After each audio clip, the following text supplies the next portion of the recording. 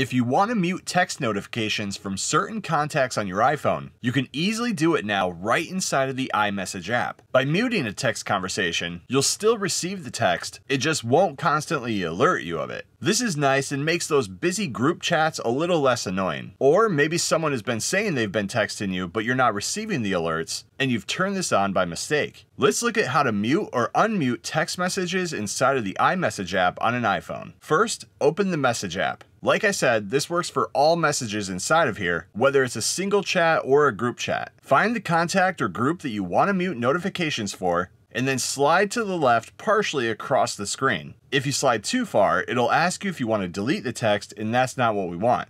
Slide just enough to see the bell and the trash icons, and then let go. You can then tap the bell, which will mute that text thread. Now in the future, when you receive a text message from the contact or group, your iPhone won't alert you. You can still see though when new messages have come through by the unread badge. In the future, if you want to unmute the text message, you can just head back into here, swipe to the left to access the notification bell, and then tap it again to unmute. This is also a tip to try when someone says they've been texting you but you haven't been receiving alerts from them. You may have somehow accidentally turned this on or forgot that you've done it in the past. A couple other things that people have asked about that I've noticed are what about text or contacts that you've pinned or ones that you've deleted?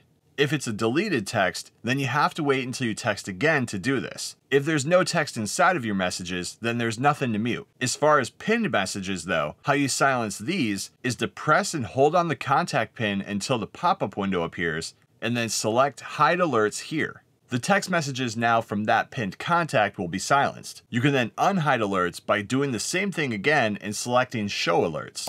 And that's how you mute or unmute text message alerts on an iPhone.